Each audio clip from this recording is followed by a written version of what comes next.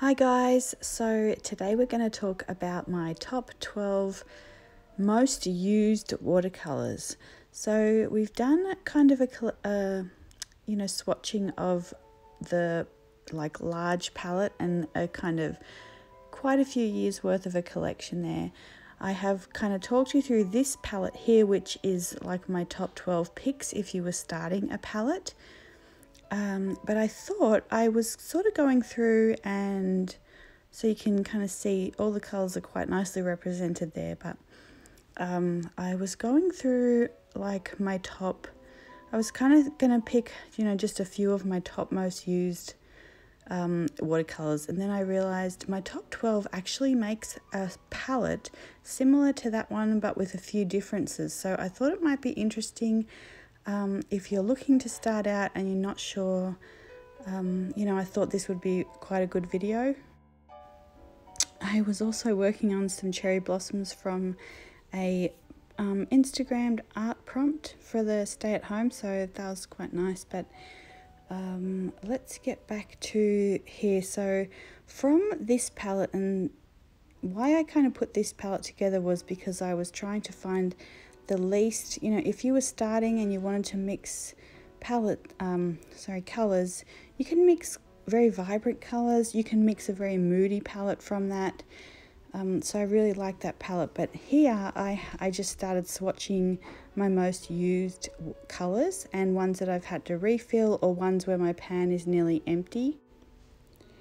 And so I have just done like a little preliminary kind of um, swatching there and a few mixes but when I'm swatching this out for you here it you know it really looks like a, a 12 color palette and so I'm actually quite excited about this.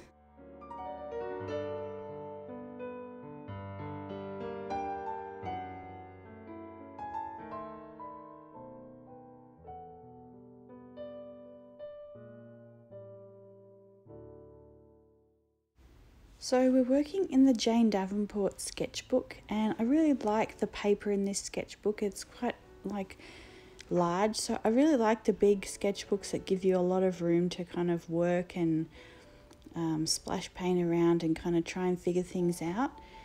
And then what I'm going to do is just show you through some of my colors here. So one of the colors that I really love and use a lot is indigo and the second most used blue is Cobalt Turquoise by Schmincke. So the indigo is by Daniel Smith.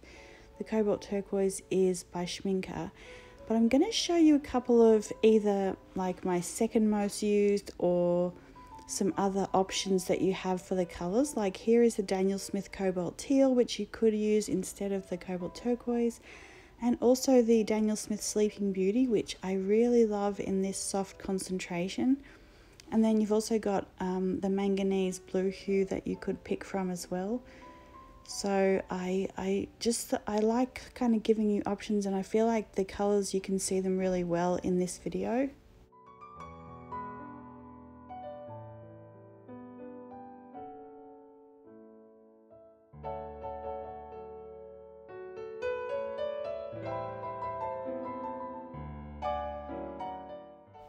So what I'm going to do is put my most used and my kind of second most used down there and then anything that doesn't end up there you'll know that I still use it quite a lot as well. Um, and like the smalt I was showing you there, I'm kind of thinking of putting that in maybe instead of cobalt blue and seeing how that's that goes. So um, now we're on to the purples and my most used is Sugilite, but I really like the ultramarine violet. Is it ultramarine violet? And I actually like the Winsor & Newton Cobalt Violet, but I only have the Brilliant Purple on the swatch card, so I'm just kind of showing that to you, which I actually started out using and liking that more, and then I've kind of switched to the Cobalt Violet, so they're in the same kind of um, hue there, I guess. So, and then we have the Opera Rose on the end as well, so you can see how that differs from the purple. Um, so we're on to greens here and I really love the Daniel Smith Fuchsite. That is my favourite green. And we have the uh, green gold is my second most used green. So then I really love the Daniel Smith lemon, oh no, I love the Schmincke lemon yellow. So the is a little bit cooler. I really, really like to be able to have that pop of the really um, crisp yellow and then I, I pretty much always tone it down with the French ochre. So I really like the Daniel Smith French ochre. It's very transparent and it's a really light, pretty colour. But I use that as my warm yellow and so I often, you know, tone down the yellow with that like in the middle of flowers or something and I'm just kind of showing you a couple of um, different ochres. These are all Daniel Smith here. I really like the Italian deep ochre as well. So um, just so you can see, there might be one there that suits you better. And then here we have the Sedona, and this is my um, kind of replacement of the burnt sienna. I, I feel like it's got a little bit of like pink undertones. I really like it, so I use that a lot. Okay, and I'm sorry, I feel like we're speeding through this, but these are the dark browns. I love the Van Dyke brown, I use that the most, but I also like the hematite. As you can see, it's got like the um, brown sort of undertones, and so I use that a lot instead of a black or for like buildings with French ochre or something like that. And then we also have the shell pink there as my other pink. So I kind of use that as a replacement. I use like the shell pink as a replacement for orange and the opera rose as a replacement for red. And so here are some earth pigments. These are all from Rivervale Watercolors on Etsy. I absolutely love these colors. So the there's three main ones that I use from here. One is this Porphyry Violet Ochre. I've been using that a lot lately. I think instead of this kind of replaces a Quin Purple or um, a Bordeaux or, or a colour like that. And then I love the Thulite as well. It's very expensive, so I use Potter's Pink, Winsor & Newton Potter's Pink instead of that mostly. Um, but I don't have a swatch card of that. And then we have the Pink Pipe Stone, which is gorgeous as well. And I'm just showing you the lemon yellow there um, with the French ochre. So most other ochres I find have like a quite opaque and heavy and I really love this French ochre um, Daniel Smith version.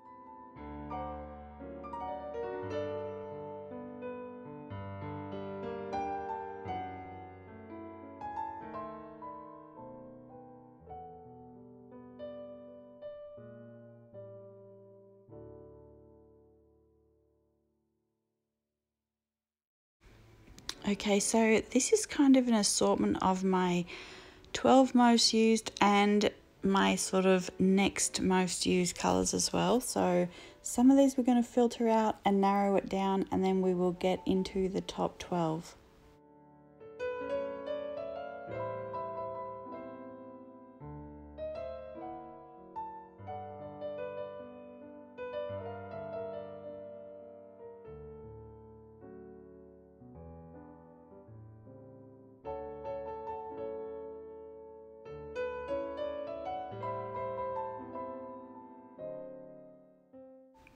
So I'm going to use them from, this is kind of my travel palette and I haven't swatched this out yet, but you can see all the colors there. And if you have any questions, just ask me below and I'm happy to um, kind of tell you where I got something. But I think it's pretty much all covered in the um, swatching the big palette video as well because they're pretty much all colors from that palette. And so what we're going to do is swatch them out so you can kind of see them in action and then make some mixes from them so you can kind of see how versatile it is. You can see here like the colours that I've already used and then like the fuchsite's already been filled up, the sugilite's already been filled up. Um, a lot, the shell pink is always getting filled up and um, yeah, a lot of the other colours like are nearing the bottom of the pan.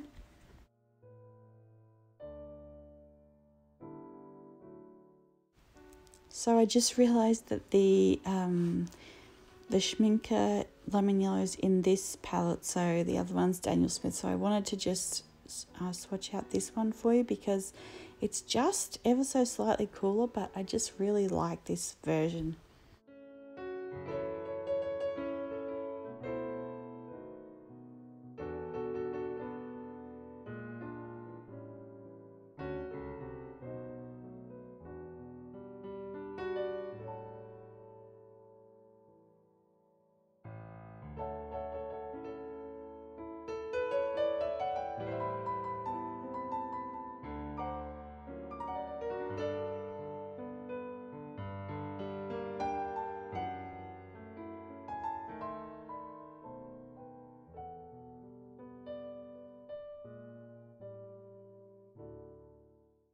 So, like I said, on on um, sort of a regular palette, like if you bought a, a ready-made palette, you would probably have a warm and a cool version of yellow, and so that is my version. And um, basically, what ends up happening is the bottom row of this palette ends up being neutrals, and the top palette ends up being brights, and so you can mix a lot of things and then you can also tone a lot of things down and create more moody pieces from you know all from this one palette. You can get so many variations of different color palettes from it. The funny thing is in thinking about this palette and kind of putting it together I can't really even tell you exactly what I paint with each color but I just know that I use them all the time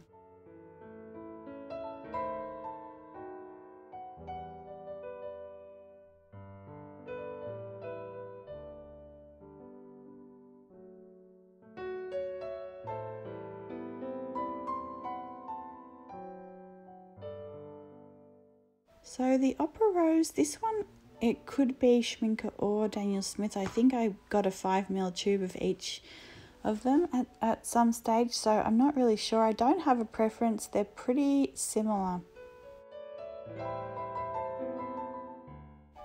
This one is um, actually a recent uh, kind of purchase in the next in the last sort of few months and I had seen this on Liz Steel's palette for quite a while.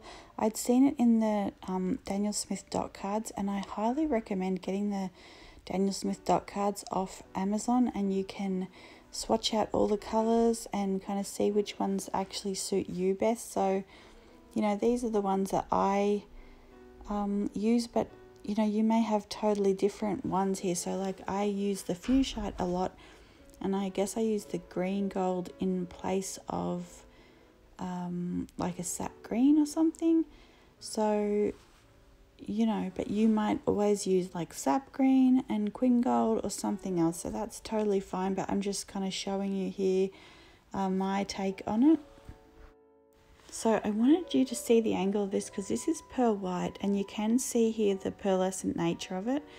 I absolutely love this color. Um, and this will make any other color pearlescent. So you can just mix it with anything else that you're using. It doesn't have to be you know this brand or anything. This is a Daniel Smith pearl white but you can just mix it with anything and it will become a shimmer color so it's really amazing for that.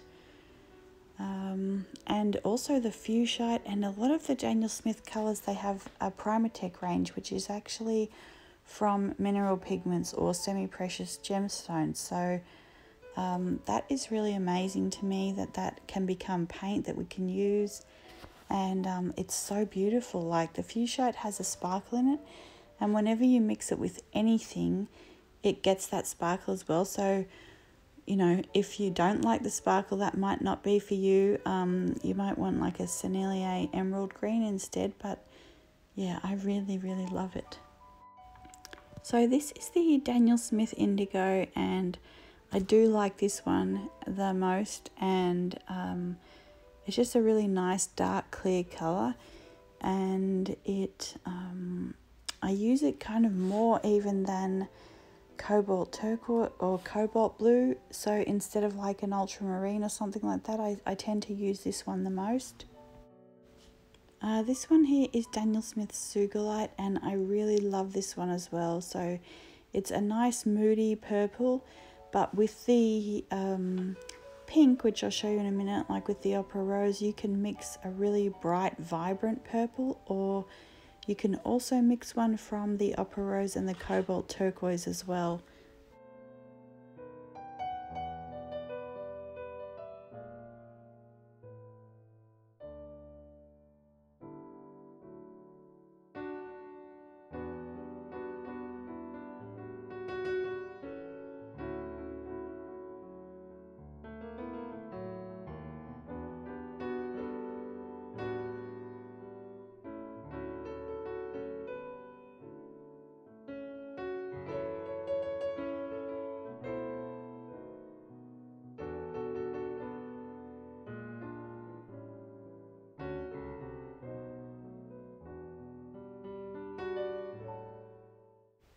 So here is our final top 12 most used palette.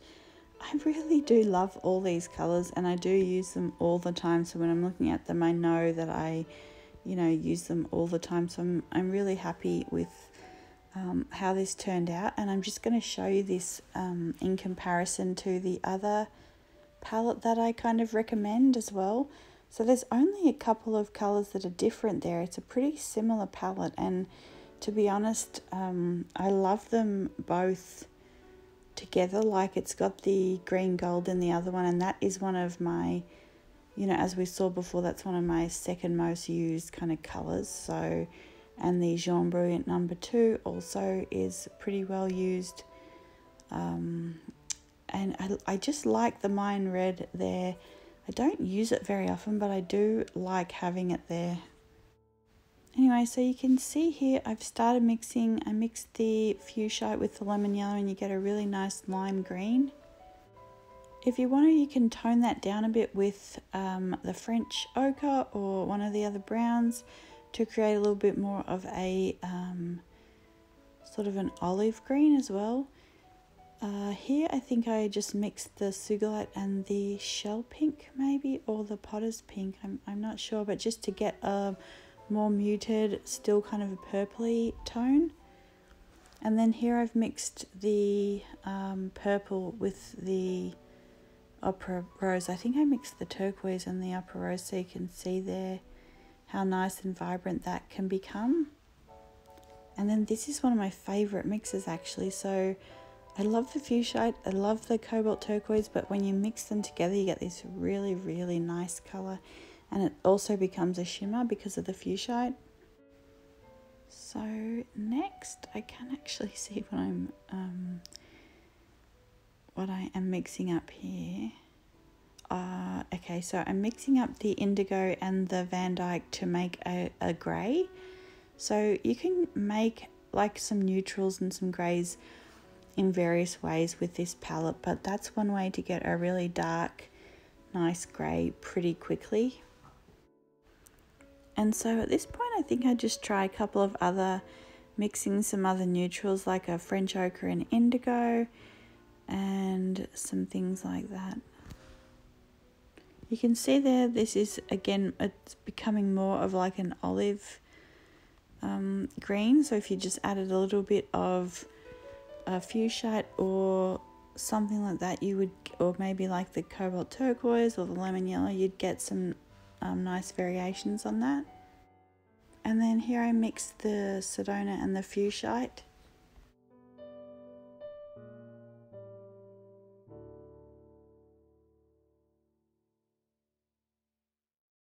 So this next one is a little bit trickier with this palette. I'm trying to make a dark green and so you can create that with either indigo and um, French ochre or indigo and lemon yellow but I find that if you add a touch of fuchsite, you can get sort of um, a bit more of a natural green there. And so now we're going to use the lemon yellow and the opera rose and create like a really vibrant orange. And again, you can tone that down with the French ochre or the Sedona. So here I'm just uh, mixing shell pink and the Sedona and I'm just trying to create a couple of different skin tones as well. So you can see like along the whole bottom you can create some really nice different skin tones and um, you can see like the bottom like is the neutrals and then the top is the brights and you can mix most colors from these colors and I guess that's why I'm using them all the time because they're so versatile